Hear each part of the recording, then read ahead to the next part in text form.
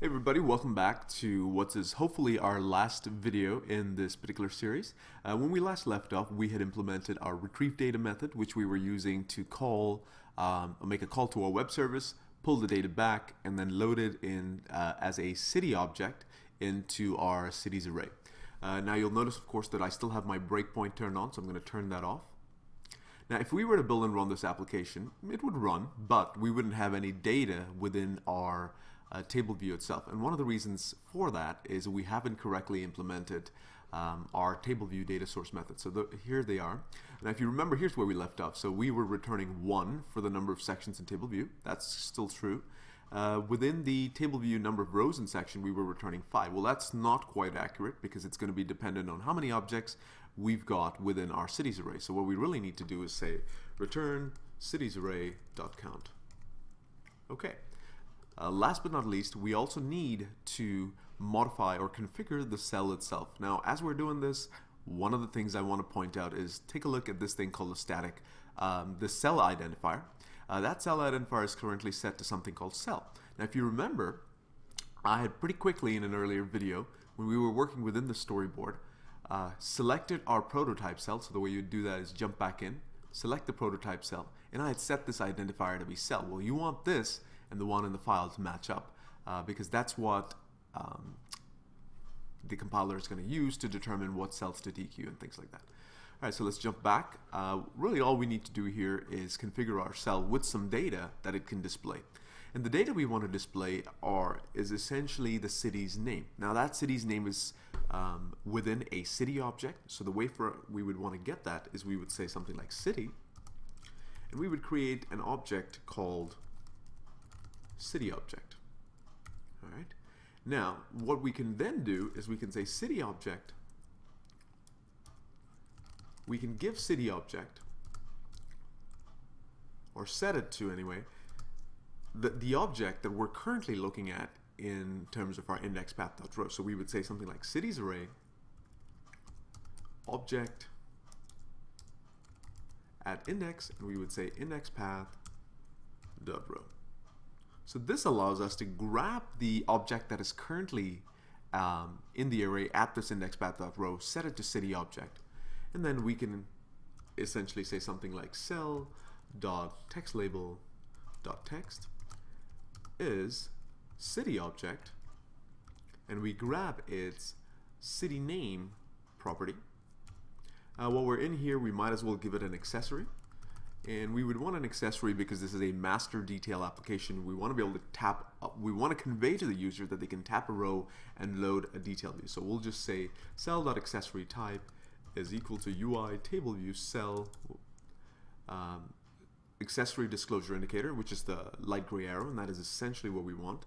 Um, so with that done, we can actually build and run our application, no errors there. And this time we should get a table view with our uh, cities in it, and of course we've got our uh, accessory indicator. So perfect. With that done, our next stop is to actually build the detail view, and to do that we're going to need another custom class. So let's just click on our project, hit new file, and this time we're going to say, okay, Objective-C class, let's hit next. We want that to be a subclass of UI view controller, so that's perfect. And I'm just going to rename this to say detail view controller. We do want to leave these two options unchecked uh, we are using storyboard, so the nib is not useful to us. And then we are building an application for the iPhone, so we don't really need that. Okay, hit next. We'll just go ahead and create the file. All right, so uh, we would want to work within our detail view controller file. And so let's just jump down here. And one of the things I'm going to do, first of all, is do a pound import, and I'm going to import city.h because we'll need to create one of those city objects here in a second. Okay. Next, we want to create a couple different properties. So I'm just going to say at property, non-atomic strong, and let's say we will, this needs to be an IB outlet. And really what we're creating is a UI label. And uh, we want to create something called city name label. Okay. With that done, let's just copy this property a couple different times because what we want to do is display the city name, its country, its state, its population. So we will name this second one uh, city, or let's just call it state label. Uh, then we'll need one called country label. And last but not least, population label.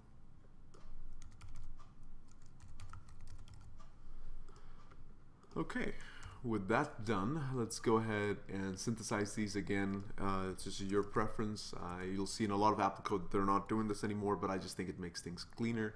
So we will go ahead and synthesize these to make that. So, okay, so city name label, country label, state label, and population label.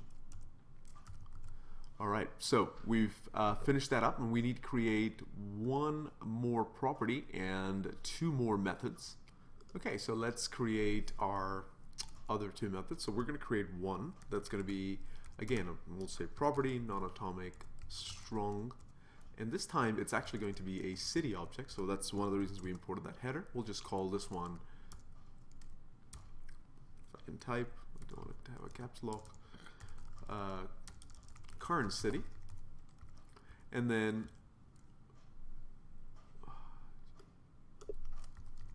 there we go. All right, very good. Add a little pragma mark here just to say methods. And we're going to create a simple method that's not going to return anything. And we'll just call it get city. And this is a method that we're just making up so you can really call it whatever you like um, it is going to take one parameter, which is going to be a city object. Okay, so I guess I'll need to uh, synthesize this as well. So current city.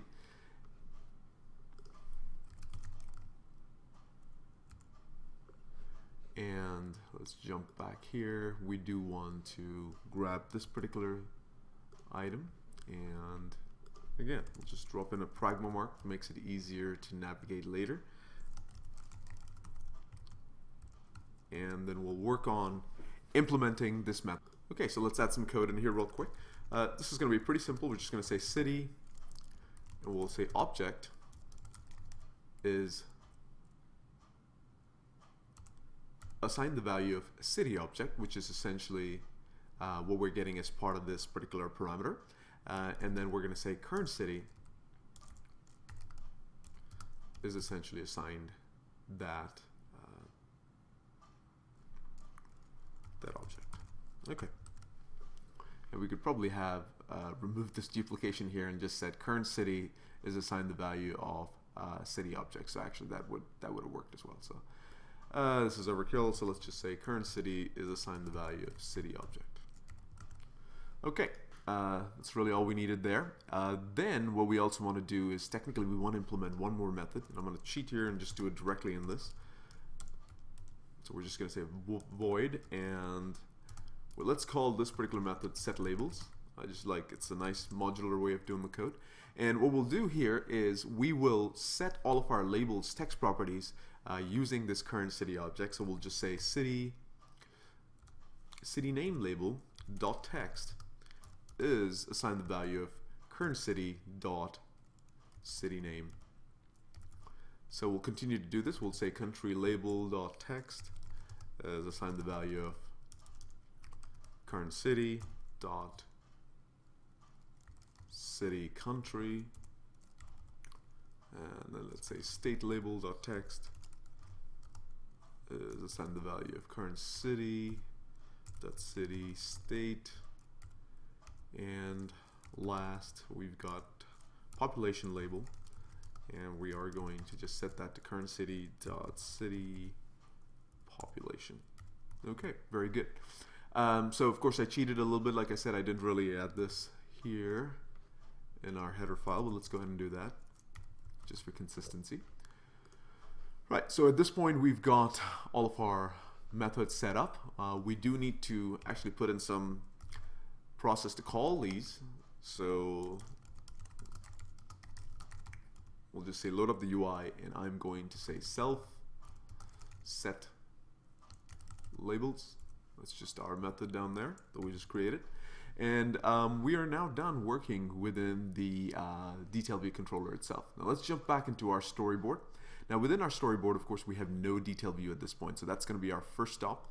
Uh, let's look within our um, objects library, find a view controller object, and I've got one right here, but you can just search for view controller, and that'll come up for you. Um, so what I'm going to do here is I'm going to drag this view controller and just let it go. Uh, that way it'll get added to our storyboard. Uh, with that done, let's uh, let's see here. Try and see if I can grab this and move this. So. With that done, what we want to do is remember we want to be able to tap a, a, a row within our table view and then essentially load the detail view. So we can do that first if we so desired. Uh, we can essentially select this, do a control, click, uh, tap on your control key, hold it down, and drag over to our view controller here. It's going to ask us what kind of segue we want. We're going to say push segue. Um, so with that done, let's give ourselves some room here so you can kind of see how that might work. Okay, so we've got that in place. Uh, the other thing we'll need to do is again select your view controller.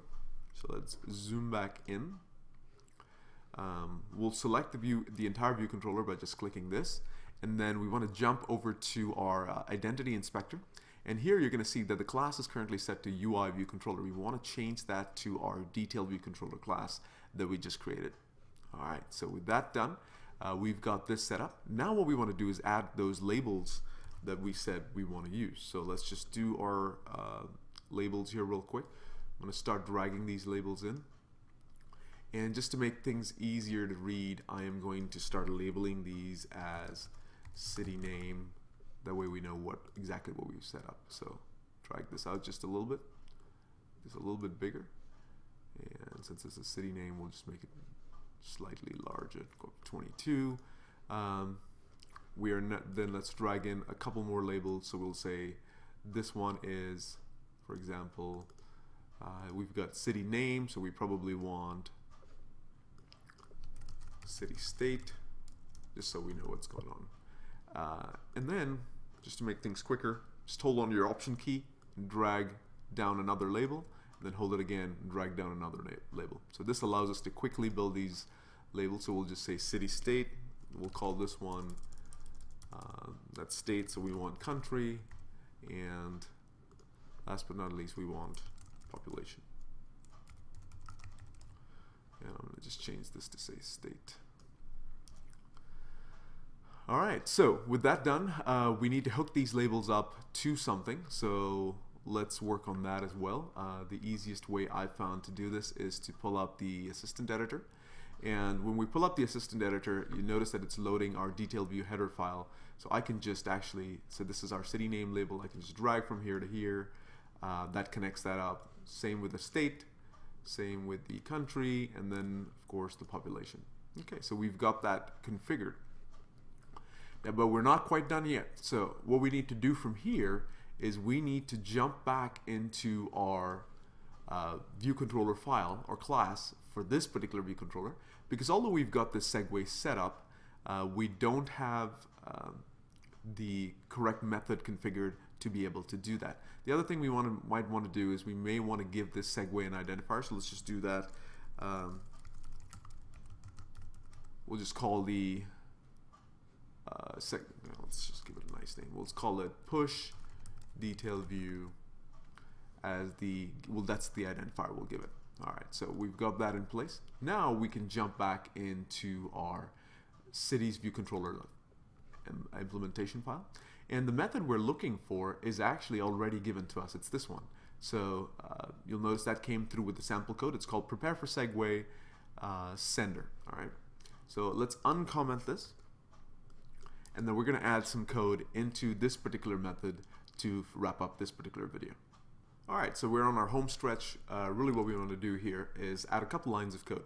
So first thing we're going to do is put in an if statement and make some room here. So what we're going to do within this if statement is we're going to check first of all to make to see which of the segues is being called. Um, so the way you can do that is you can just uh, say segue identifier right? So you grab that and you get that because you've, you've already, you do get the segue as a parameter. And then we're going to say is equal to string. And what's important here is I think we had called this push detailed view, right? So I just need to confirm that real quick. Uh, and that value is coming from whatever we had set up here. So it is in fact push detail view. So great. So we've got that correct. Uh, and then within here, um, we want to do a couple different things. So we'll first get the index path and we'll say ns index path. Just call that index path for simplicity.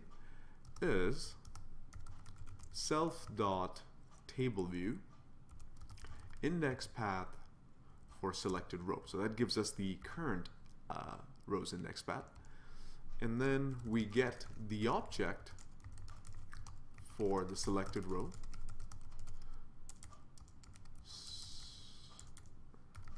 So we just say something like city object and we're going to say cities array